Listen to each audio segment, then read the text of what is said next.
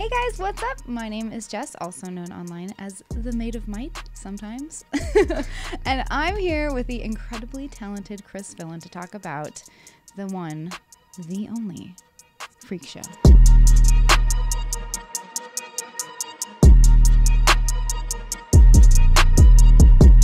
We're here. We're we're doing it. We are. Wow. How do you feel? I feel I feel good. I feel tired. I feel Mm-hmm. I feel fulfilled at this point in time. So, my first official question for you Were you born an icon or did it just. Sorry, that was Dave's question. We love you, Dave. Obviously, everybody is here to see Freak Show. Everybody is excited for Freak Show. Um, and I just want to know what inspired everything. What inspired this video? What inspired the song? What? In, what? How did it happen? Yeah, this is a funny story actually. I was actually on set for somebody else's music video. We were location scouting different places and we came across this incredible venue. It's like a standing circus. For whatever reason, it didn't work out for this artist and they ended up not shooting anything there. Um, but the entire time I was walking around, I was like, okay, they got this prop. Okay, cool. This place is incredible. Shout out to Winnie. Winnie, I love you at the LA Circus. The song was really inspired by the venue, which is funny. So, you would say then that the venue inspired the video that inspired the song.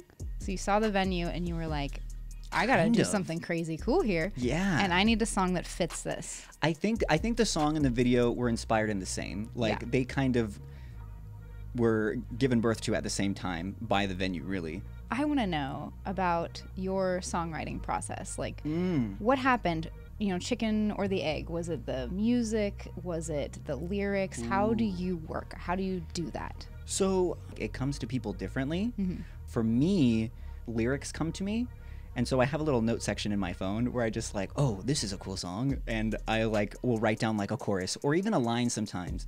I'll either find some kind of music beat that exists and write to it and then take whatever that is and give it to my music team and we kind of re-engineer and like Frankenstein something together. That's what happened with Freak Show. For this, I work with an amazing person who I still have not met, ironically. What? I know, I know. My music man, shout out to Custom, I love you. I was kind of like going through his library of stuff and I came across the track that's Freak Show and I was like, whoa, whoa, whoa, something's here Wow, it just clicked like that. it kind of did because it wasn't in the track wasn't in the format that it was that it is now so i was kind of it was like a five minute track that he had made and i was like ayo custom i need take like this part and this part and sandwich those together and then do this and then get what does that sound like and so he was able to kind of piece them together and then from that i was like ah yes this is it Wow. So you are saying that the song itself is kind of like a freak. it is a It's little like bit a Frankenstein. It is a little bit of a freak show in itself it could be kind of when you have something so themed like you could kind of get like this kitschy campy like oh that's a little Mm. cliche vibe but the song is so good on its own that you can listen to it and it doesn't sound like oh this would be playing at a circus you know it doesn't you know give what? you circus I really appreciate you saying that because that was one of the big things I had in my mind. you know you you saw the location you created the song what was the process like bringing that vision in your head you know i guess you already knew what the location looked like but how was the process vision like bringing your vision to life Oh, Jess. this is where we're going to derail a little bit because it's very easy. I'm guilty of this. It's very easy to watch something and be like, I can do that. That's easy. yes I got this. yes yes But the process in itself becomes very difficult because there's so many things that you don't think about like filming permits, waivers, and like rental equipment. What can we rent? What can we rent? What will the city allow? What will the city not allow?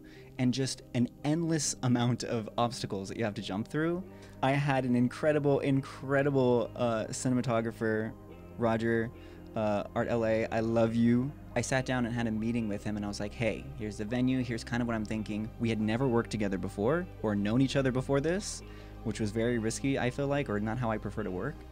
Um, Not ideal. not ideal just because i'm very detail oriented but he was so incredible in the sense to where like this is what i want what do you need from me this would be the goal and he's like no i got you and i'm like okay i hope you do because i have a lot of money on this well, listen, everyone's gonna see that he did in fact do we love you have Chris. Thank did you. have Chris. he did Talk to me about though the the visuals. Like what if you could paint a picture and, you know, transfer that picture to the screen, what was that Ooh. gonna look like? I knew it lived in a cross between The Greatest Showman and uh, Britney Spears' Circus. There was like a level of grandeur that just I don't I'm not sure if it doesn't exist anymore, but there was a production value that I don't often see relayed anymore. Yeah. And so a lot of my ideas sit in that kind of very big, grand space. And so I knew it had to sit somewhere in there, but um, not exactly either or. So you said I have a two or three minute song and I want to make a movie.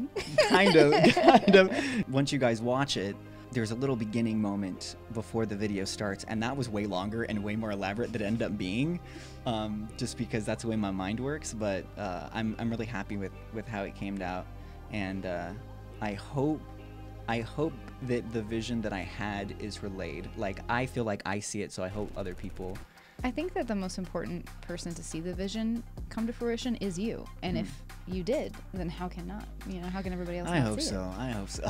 You're gonna see it. please please what about costuming? I don't know, Jess. Why don't you? Why don't we talk about it together? Yeah. Whether she likes to believe it or not, Jess here is an incredible costumer, Oh, yeah. actress first, um, incredible costumer. I'm a costumer myself, Mm-hmm. across the board. I will not budge on quality. Like if if I can't do it to this level, then let's not do it, or let's Yeah. wait. You know, there's few people in my life where I could trust with that, and you were one of them. I called you one day, Yeah. and I was like, Hi, Jess. I'm working on this very difficult project and I know what I want, but I need help. Can you help me? And I said, Hell yeah. I'm there with my sewing machine. Not to like toot our own horns, but I am very proud of the fact that like we did all of those costumes by Yes. ourselves. Sans, the jacket that I wore, Yes, was yes. made by Nephi, uh, designer daddy, we love. Every other costume that we saw, I think except for maybe the the the flame breather and like the stilt walker or something, a few of those. Yeah. all the dancers, most of myself, and everybody else, the costumes came from us. And Yeah. that was hand sewing or altering. Or even just curating. Honestly, even just Curating. curating, making sure all the pieces look good, are functional for dancers to dance in, which we also had some issues on set. Please let me tell the story. I'm so excited. yes. I was waiting. I said, I hope I get a chance to tell the story. Shoot day, it was day one. It was day one. This yes. day one, we're all a mess. We were lucky enough to have a costuming trailer. We were in there with one of the dancers. We're um, giving everybody their costumes because we didn't have time to do like a fitting for everybody. Yeah, we- did everything like from start to finish for your video was only like a few weeks. It was it was like max a month. Yeah. So we had like a week to do costumes. I think. Maybe, Yeah, maybe. yeah. I'm gonna take blame for this because I just didn't uh, take into account certain things, and so the costume didn't fully fit this person. I think I went white. I think the blood left my body because we're on set, we're shooting this right now, and everybody has to get dressed right now. And this costume not only doesn't fit, but it was like ripped too. The outfit was like a one piece, and we thought that it was a four way stretch spandex, Speaking costuming terms now, which would have been fine, stretchy all over. four way meaning it stretches like this, way, and, this that way. However, it was only a two or yeah two way. It was only two way stretch, really. So it only stretched like It a only stretched little up. bit. Yeah, up. It was it.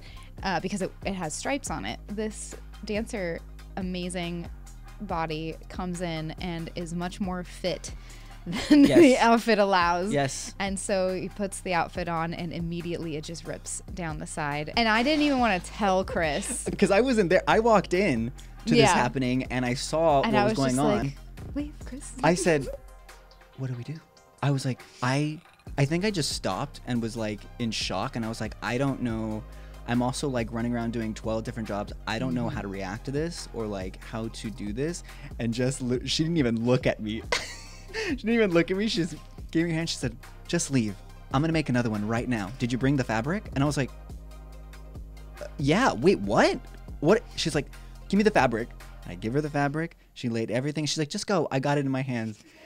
Never have I ever seen anybody, and maybe 10 minutes max. I would say less. I would say five or seven. Just whipped out an entirely new, beautiful costume with the sewing machine and pins, and no one would ever know. It was literally, I'm not exaggerating, it was maybe seven minutes. But the costume looks amazing and you know, despite like a few other fit issues that were solved with safety pins and stuff, you know, Yeah. everything turned out flawless. Yeah, I'm really proud because one of my goals for my dancers and honestly everybody in the video was to like everyone had their own character and everyone kind of like had their own vibe or if or like that they were connected to in the video. So if you look at the dancers or if you look at um, the circus acts, um, they all are their individual character or they're paired with somebody and they have kind of like a duo thing going on. It really informed the dancers and all the other acts of like where they sat in all of this and I feel like that helped too, you know? Yeah. Just to kind of tie everything together.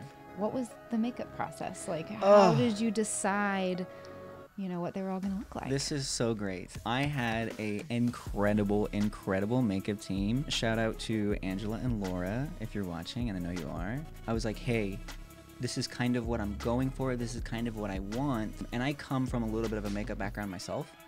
And so I knew this was going to be a very big undertaking. And I also knew how to do it the correct way, in a sense. Um, and so I reached out to Angela. Angela recommended Laura, I believe. And um, then they brought in a team of a few more. So I ended up with five Jessica, Nora, and Ashley added. I was like, I want it to feel upper brow at times, and then I want it to change into more of a creepy, more dynamic um, freak show, if you will.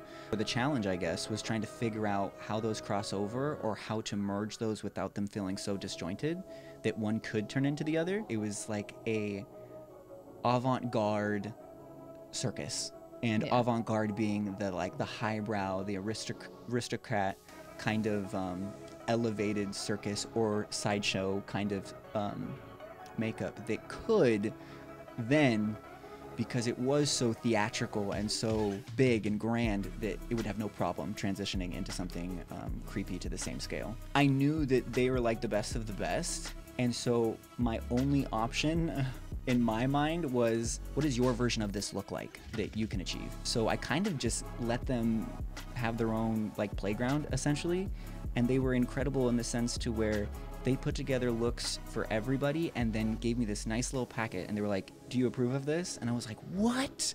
Yes this is exactly what i wanted.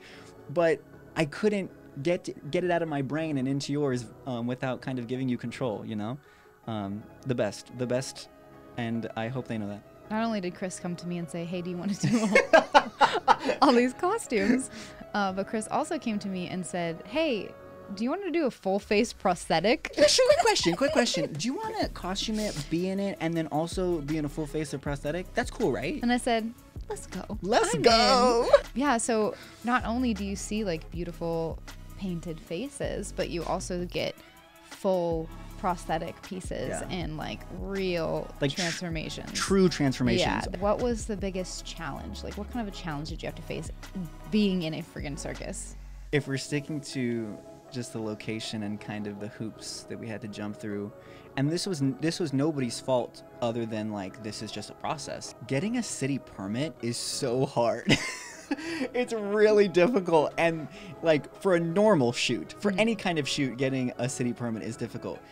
Once you add all of the factors that we had in a circus where people are hanging from the ceiling and, Fire breathing. and there's and that and there's dancers and there's drones flying around and it's really difficult and, and on top of that we i like you said we kind of had a month to pull everything together and i want to say if i were to do this again i want to dedicate a month to just the permits Yeah. and and that's a shout out to uh, my mom. Thanks, mom. I love you because I did every. I would do stuff, and then I, mom, I gotta go sew costumes. Can you? She's like, I got you. Boom, boom, boom, and we would just kind of tag team that permit that was like 12 pages. Listen, Mama Villain is a superhero. A superhero. A superhero. And if I haven't already said it, I'll say it again. A superhero. Yes. uh, I also want to stress, like, tell me about the dancers. Talk about like how, you Yes. know, when you're watching a music video, you see the final product, but you don't see them doing the same dance 15 times, Yeah. you know, in the heat. And uh, yeah, tell me about the team. I'm really glad that you brought this Mm-hmm. up because another uh, again, its own documentary that will hopefully one day be made. So the dancing started with me choreographing in my living room in my pajamas, obviously. The choreo had to be not only insane, but like the dancers had to be insane. I ended up reaching out to the incredible talented Jonathan Sisson, who we had worked at Disney together for years. He was featured on World of Dance and um, some incredible dance competition shows where he was not only choreographing but dancing as well. He was like, "This sounds incredible. Let's do it." And I was like, "Yes, perfect." He, he was like, "How many dancers do you need? What what do you want them to look like? What's the vibe?" And I was like, "I get a choice." okay. I'll take anything. Please, I'll take anything. It was important to me, obviously, to make the uh, the cast of dancers diverse for one, um, because uh, for obvious reasons, but also it being like a freak show, um, I feel like I had like a subtle responsibility to represent everyone, um, and so I wanted it to be diverse, and I was like. After that, as long as they can hit their mark, I don't care. and and hit their mark they did. and hit their mark they did. Jonathan and i had met in advance like one day and i was like here's the choreo. And he's like do you mind if i make a change here or there? I said absolutely not. Um, and then in addition to that there is a sequence in the middle of the song there's lots of strobe lights happening and craziness that jonathan choreographed himself in addition to what i had choreographed which was again such a blessing because i didn't have anything for that slot we met one day i gave him the choreo and he says perfect. We'll rehearse in two days with the dancers. And i said okay i have to count on you because i'm gonna go do i'm gonna go do costumes and permits and stuff. I show up to a dance studio in like long beach i think if i remember correctly i have a full team of dancers. One who coincidentally i had worked with in a past video and she was like chris and i was like cheyenne i love you. What are you doing here? I walk into them already doing the choreo by the time i got there and i was like dude there's no way.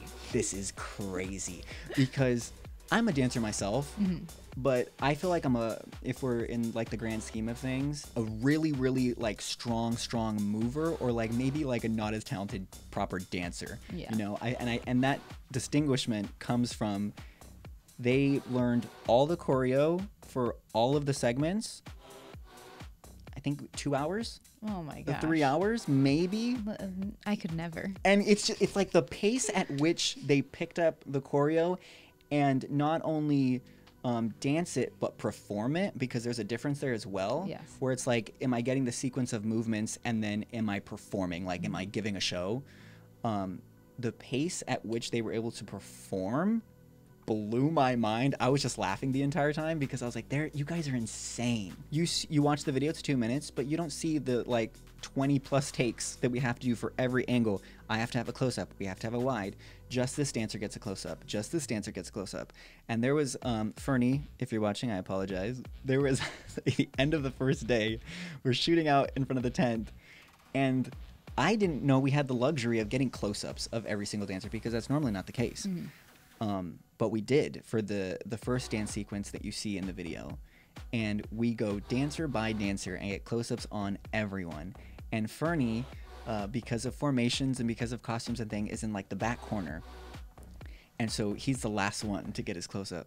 My guy not only went full out for like that would have been you know nine takes um, after a, a whole day of shooting, but like crushed it every time, and then on top of that, killed his close up, and like that's stuff that you won't see. And I will never forget sweeping rocks off because it is Rocks. it is a real circus. Yeah.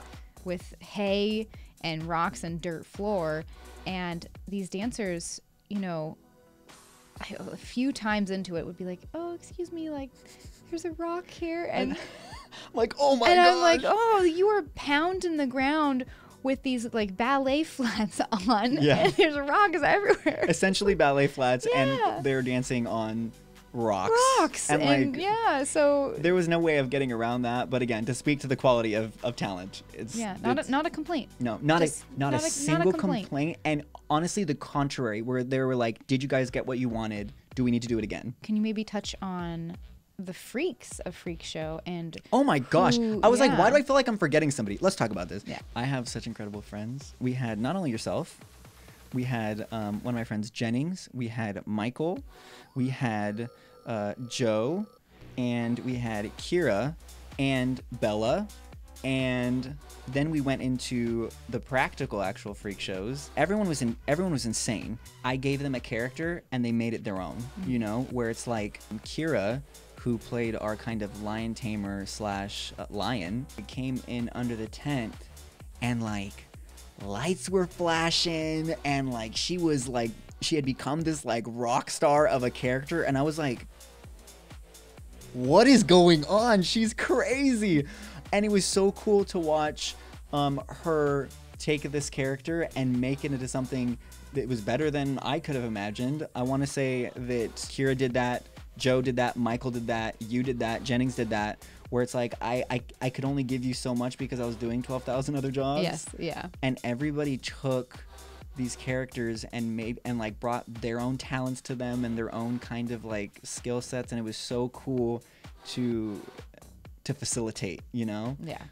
What about your persona and your character and your costume? Tell me about maybe that process. Myself regrettably i think i probably gave the least amount of thought to As you do. as i do well i just i just wanted to make sure everybody everybody got the vision you know? Yeah. and i was like i'll it's my vision. I'll make something happen you know? The obstacle that i was having for myself and honestly to the full extent that i wanted to do in my brain i'm not sure i actually achieved. Now that i watched i'm like oh we could have done this we could have done this. The song is kind of has like a, a temptation vibe to it. Mm-hmm. And so i wanted to create a character that you believed and trusted and that you would come in to watch the show and wasn't too scary to where that you wouldn't believe that but then at the same time i wanted to create a character that could turn into something creepy and scary that kind of encompassed the leader of a freak show that could also hold a sense of like highbrowness you know um, and i found that very difficult and I, I think there's a few more things and different things that i could have done to achieve that but i'm, I'm really happy with Oh, uh, it's uh, wonderful. You thank did you. such a good job. I'm, I'm happy with what Stop beating yourself up. I'm. I It's know, perfect. I know. I keep myself up at night over these things.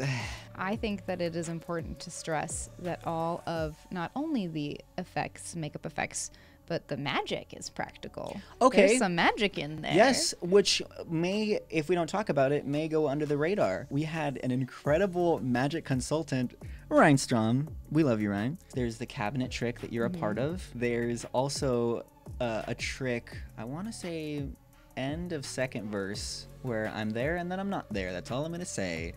Um, and that was practical. There's no effects done there. There's no effects done in the trick. It's so good. of. It looks fake. It looks like VFX, but I- I want everyone to know it's real. I watched it when I was editing it. I was watching. I was like, "What?" the World of Freak Show is beautiful. The designs, cinematography. I wonder if there's a way that we could take that into our own lives and maybe wear it Oh, for ourselves. It's funny, actually, that you should say that. We have not only the video coming out, we have an entire clothing line coming out for this video that um, I designed with an incredible graphic designer, uh, my good friend John. Shout out to John. I wanted like an edgy kind of street um, version of what we were doing and make it cool and make people be able to like if they loved the video they could wear it on a shirt or they could wear it on a hoodie you know i worked with john we came up with the graphics i kind of told him i had sent him a design or two and i was like this is kind of what i want and john being john was like you did such a good job. You tried so hard. Let me fix this for you. beep, boop, beep. And came up with these incredible designs, which actually kind of the designs that we came up with, that John helped me with, um, ended up informing like so much of what the freak show kind of brand itself has become there's a an eye graphic that he created that ends up in the posters and on the all the merch on the album art, and it kind of became like the face of what Freak Show is. And um, you guys can get that on a hoodie or a T-shirt, and secretly slash maybe if things go well, even more things like sweats. Yeah. Who's to say? I'm really uh, proud of the fact that I was also the photographer for that. Mm-hmm. And like I say that in a way not to like again toot my own horn, but like there was something that I wanted and a certain kind of vision that I had and I'm I'm just really proud of that vision. I'm really proud that I got exactly what I wanted in my head and was able to uh, put it in photography and into the merch and into the video for it. Um, and they, these these you guys look so good. the models for this look so good, you guys. And I think too, like just the concept of freak show is, you know, anybody who's ever felt even a little out of place somewhere can resonate with that. You handled it with such care and grace and really like if you're watching that the video, when you watch the video, you feel like you could totally be a part of the freak show too. And I love that vibe. that was my goal because like as an artist or like people in the creative kind of community and world like i feel like we all had or potentially had rough upbringings or moments where we felt like we weren't uh, we didn't belong or we were a quote unquote freak you know i i did i did and i feel like if nothing else people that felt that way can relate to the song or the video or the merch or anything, any aspect of everything that we've created, then goal achieved, you know? Of everything that you've experienced so far, what has been your favorite part? Like, what has been the thing that hit you and just said, I'm doing it, you Oh, know? Wow. I've gotten little kind of snippets of that, but I, I feel like actually that's going to come tonight question mark at this premiere that everybody's at because i think it'll be the first time where i really get to like sit back everything will have been done and i'm like watching it with family and friends. And i've become a little bit numb to the fact of like what we actually accomplished because what we accomplished is actually insane. For i mm-hmm. feel like for the people watching that don't know it's like i'm independent like i'm not signed i don't have like a label or anything Yeah. behind me you know? And like the scale of what we've done I don't want to again toot our own horns, but like there are very big artists that don't have this scale or haven't done a production like this by themselves, you know? Oh, certainly not by themselves. Yeah. Um, and I'm really proud of that. What's next? What, what are we doing next? Funny you should ask. This song and video was actually initially meant to be a part of a bigger project that I'm working on. I'm calling it my uh, visual EP. And so moving forward, I have I have I have this video and while working on this video, I have this visual EP that I'm working on that I'm I'm a little bit more excited about if I'm being honest. I'm not picking my favorite child here, but like I have a lot a lot planned for this visual EP. It's something that I hope everybody watching this and the video and would want to be a part of and that I'm actually going to um, be crowdfunding for to kind of make everybody feel like they are involved and also take a little bit of stress off my own back Yes. and that's actually going to be happening on the release of this video. I don't want to say too much about it because there will be its own video dedicated to explaining it. Um, but in to give people a little bit of context, I have an EP of music. There's um, a few songs. I'm not going to say how many, um, but the visual aspect is there will be a video for each song Oh. and there will also be videos in between each song that tie all the videos will correlate together. There's going to be an underlying story to it all and it kind of essentially turns into um, this weird hybrid of music video meets short film. Um, some artists have done it um, however i'm patting myself on the back a little bit where i don't think any artists have done it in the way that i am going to do it. And i'm really excited for people to see it and to be a part of it once this is done i'm gonna give myself 24 hours to kind of sleep and then we're, we're, gonna hit the ground running There we go. And I'm so excited because a freak show is a sign of what we have to come and there's more of that coming. Like, just you wait ready. I'm here for the Chris Villain Cinematic Universe. what is, what is the abbreviation CVCU. for that the cvcu whatever it may be CVCU. Let's go. And, Yeah. you know, and so everybody watching can be a part of this. Uh, where can we find everything? Yes. So Uh, Freak Show will, will be available on all major streaming platforms.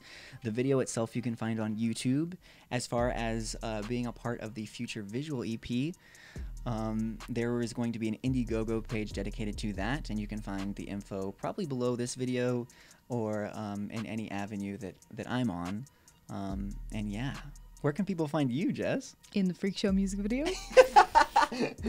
but also, I'm made of might. You can find me on all the social medias and things.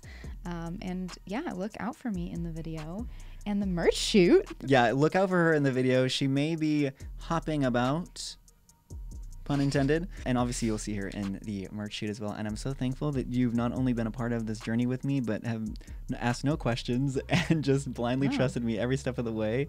Um, and also here to interview me today. I love you. I love you. I love talking to you. I love talking to you. Maybe you should do like a little sign off for everyone watching this at the premiere. Ooh, okay. Mhm. Let's right do- into that camera. Let's do that.